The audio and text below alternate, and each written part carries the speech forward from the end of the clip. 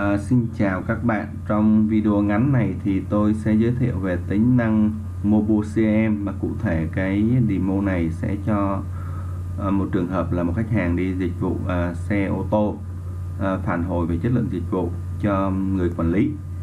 À, màn hình này là những cái phản hồi cũ trao đổi giữa người khách hàng này và người quản lý và bên hãng xe thông qua à, giao diện trên app gọi là Mobile CRM à, trong lần này thì người người khách hàng muốn phản hồi thêm một à, sự việc mới.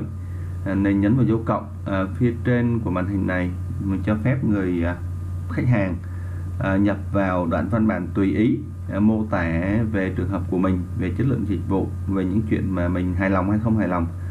À, trong cái lần mình đi dịch vụ này à, à, về cơ chế quản lý thì à, một app sẽ được quản lý à, một cấp toàn cục thì người quản lý toàn cục sẽ nhận được mọi phản hồi.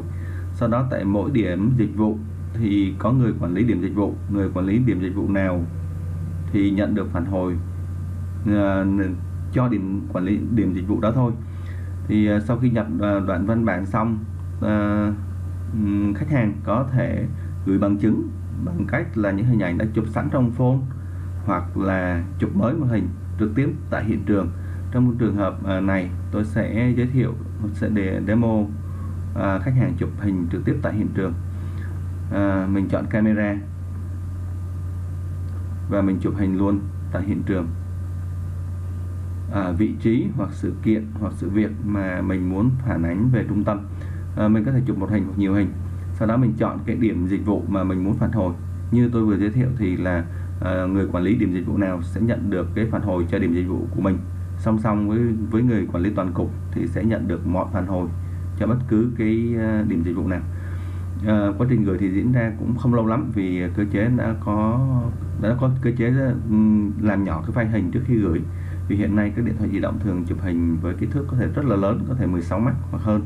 Nhưng quá trình gửi thì hình đã được resize nhỏ hơn à, cho quá trình gửi nó có thể nhanh hơn à, sau khi hình gửi xong thì chúng ta có thể xem lại cái cái cái um, cái thông báo cái cái cái phản hồi của mình. À, bao gồm có cả văn bản và hình ảnh mình đã gửi đi. À, người quản lý à, khi nhận được cái phản hồi này thì sẽ trả lời lại cho bạn. À, quá trình diễn ra rất là tự động. Khi phía trung tâm phía quản lý có gửi phản hồi thì điện thoại di động của bạn nó tự nạp cái cái kết quả phản hồi lên một cách rất là nhanh chóng. Còn cơ chế phản hồi hai bên hơi giống cơ chế ờ, gửi SMS trên phone tức là bạn thì gửi bên tay phải còn phản hồi của nhà quản lý à, gửi bên tay trái. À, như vậy thì à, bạn sẽ hài lòng hơn về về chất lượng dịch vụ và người quản lý cũng biết được à, thực tế đang diễn ra như như thế nào. Cảm ơn bạn.